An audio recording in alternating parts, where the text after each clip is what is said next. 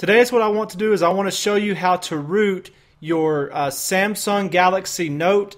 This is the original Galaxy Note, the i717 that was made specifically for AT&T. Okay, now um, I'm going to show you how to root this. This is the newest Jelly Bean 4.1.2 update that's come out recently, uh, but this step will work for ice cream sandwich stock ROM as well. So, uh, so I'm going to show you how to root this thing. Um, so the first thing we need to do over here on the computer, let me show you the files that you need to download. So the first thing you need to do is download this Odin program, okay? And I'll have a link in the, in the description to all three of these different files that I'm about to show you that you need to download. So you need to go over here to this to this site, download this Odin 3 version 3.07. So you're going to push regular download. It's going to make you wait a few seconds, then download that.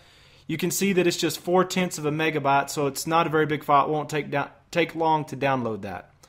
Okay, so that's one thing you need to download. Another thing you need to download is our custom recovery. And the custom recovery we're going to be using today is Team Win Recovery Project. That's what this TWRP stands for. So on this page, if you scroll down to the bottom, you want to go down to this Open Recovery TWRP 2.5.0.0. You want the Quincy AT&T dot image dot img dot tar. Okay, make sure you download the image dot tar. Then the, the last file, the third file you need to download, and I'll have a link to this as well, is you need to download this CWM Super User SU version 0.94.zip. Okay, so those are your three files you need to download: the Odin file, the recovery, and this uh, this Super SU uh, .zip file here.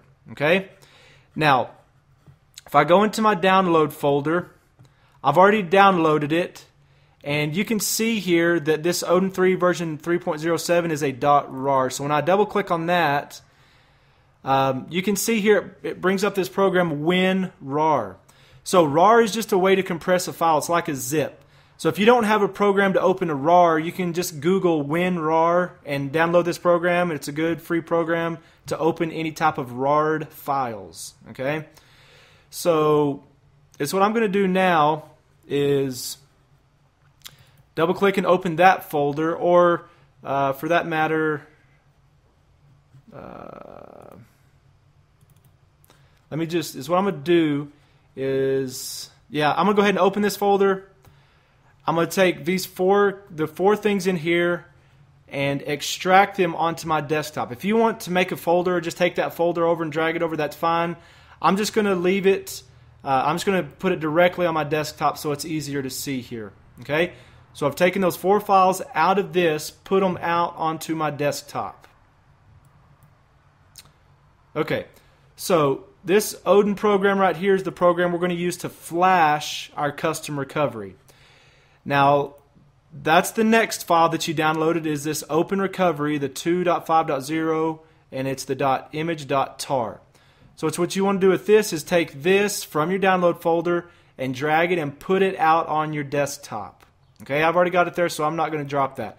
But take this, uh, drag it, drop it on onto your desktop.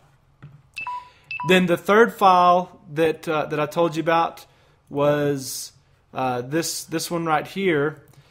Okay, leave this file as a .zip. Now, so what we need to do with this file is this file needs to be needs to be put onto our phone. Okay, so I'm going to plug in my phone here, and it should recognize it. There it is. So under computer, you see my phone here, and we can either put it on the card or on the phone. You can put it anywhere that you want to. In this example, I'm just going to go ahead and do it on the phone. So if I open the phone here,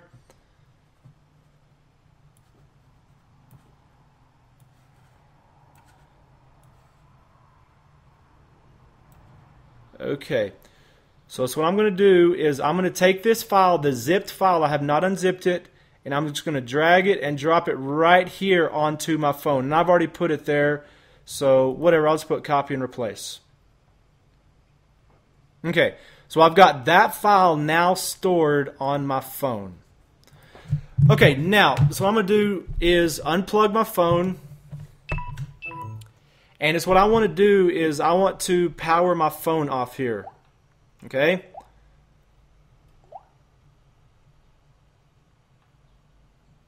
I'm going to wait for my phone to completely power off. Now, as that's powering off, I'm going to open up my Odin program here.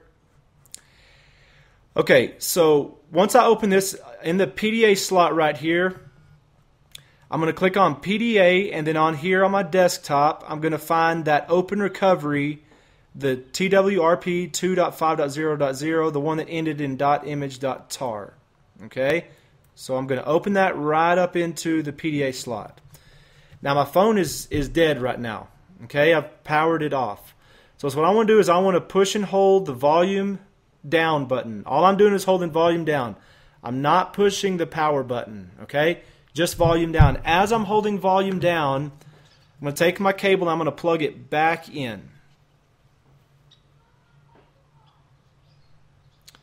Okay, and then it's going to bring us into this right here, and this is what we want. So we want to volume up to continue, and you can see here now it says downloading. And now you can see over here on my program where it says COM, it shows that it's reading my phone on a port. So on COM12, it's reading my phone. So it's, it's connected and ready to go. So when I flash this, it's flashing a custom recovery to my phone. All right, so when I push start, you can see here it's flashing recovery. This doesn't take long at all. Says reset, reset OK. Everything went through fine.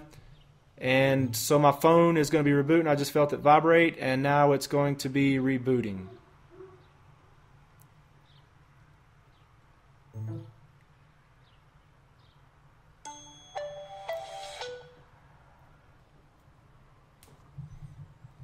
Okay, now after my phone reboots, this what I'm going to do is I'm just going to go ahead and turn this thing off.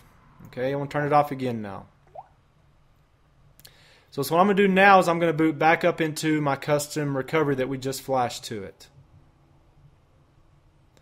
So I'm going to wait for it to go completely dead here.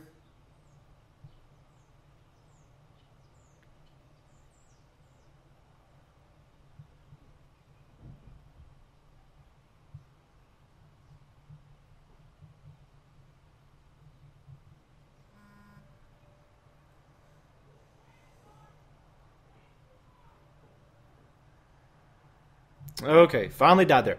Okay, now so what I want to do is I'm going to push volume up and down at the same time.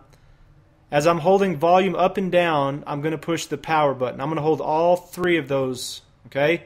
Hold all three of those together.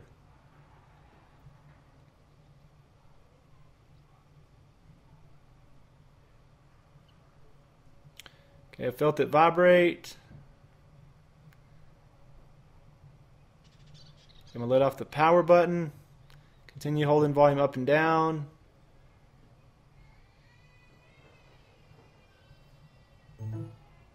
And there you go. It's brought us up into this team win. This is my custom recovery that we just flashed to it. Okay, now I want to go to install. And this what I want to do now is I want to go and look for that file that we just put on here. Okay?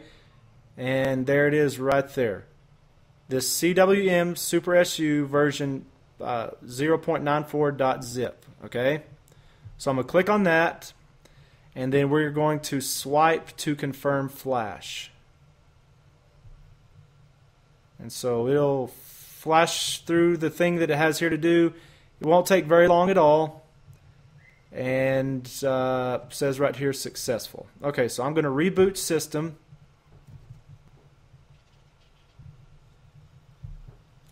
And that's it. We just rooted our phone.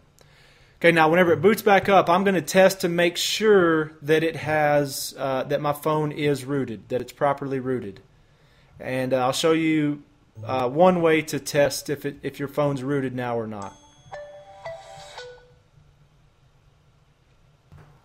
Okay, now there's a lot of ways to test if you have root or not. This is the way I check it. So if you'll go into the Play Store, go into the Play Store and download the program Titanium Backup. Okay?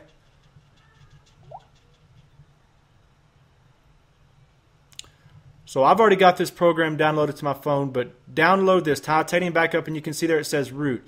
In other words, this app will not work unless you have root. So that's how we're testing it.